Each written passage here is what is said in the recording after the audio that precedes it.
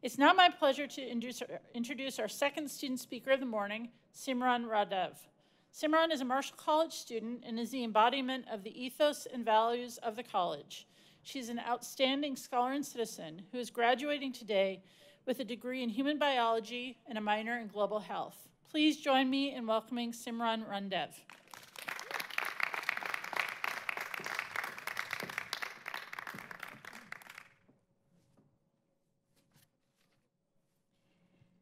Morning and happy commencement to my fellow Thurgood Marshall College graduates, faculty, staff, family, and friends.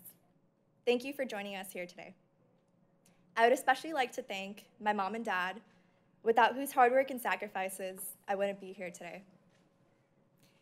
It feels surreal to be standing here during such an uncertain period, both in the world and in many of our lives, as we now try to figure out what the next chapter of post-graduation will look like.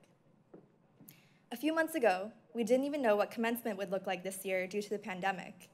And this uncertainty pretty much describes the feeling that many of us have been living with over the past year and a half as we've been adjusting to a new norm.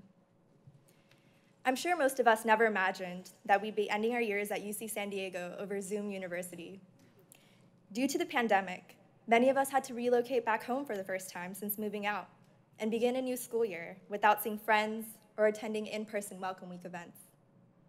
Instead of lecture halls, we adjusted to doing school in our rooms over the sounds of pets, yelling siblings, and our parents, who somehow always conveniently started vacuuming when we had a class to attend.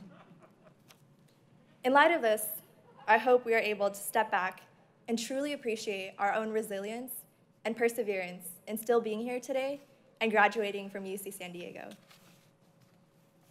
I feel lucky to especially be a Thurgood Marshall College graduate. I say this looking back in retrospect because, as many of you can probably relate, I wasn't the biggest fan of having to write all of those essays for our Dimensions of Culture classes.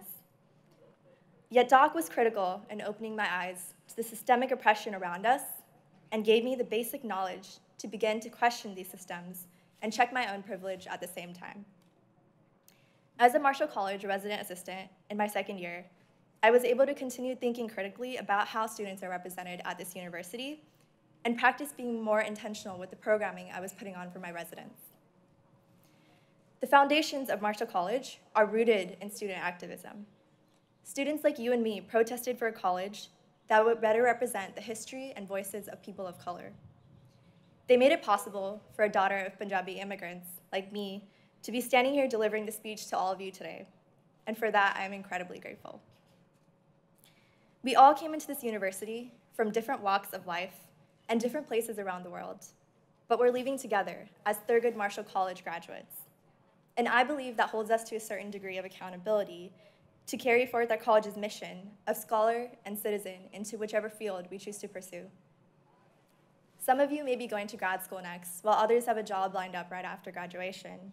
And some of you may not have your next step completely figured out yet. No matter which path we may be on, we will all be members of various different communities. And in a country with rising inequities, we have the opportunity as Marshall College scholars to carry forth our knowledge and be a voice for change, no matter how big or small.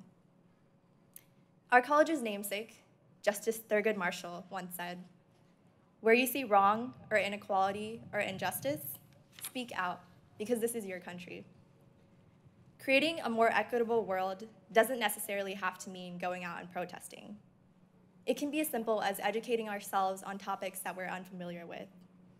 It can be leaning into the discomfort and having conversations with our loved ones about controversial topics. It can be sharing reliable resources and information with our friends over social media. No matter what form of activism you choose to engage in, the important step is committing to it. I challenge all of us to continue making space for and amplifying the voices of those who have been marginalized to be open-minded citizens who embrace hearing out opinions that are different from ours, to acknowledge the different backgrounds and perspectives of the people we will be working with, and to continue questioning the systems of power around us and who they serve to represent. Thank you, and congratulations, Marshall Class of 2021.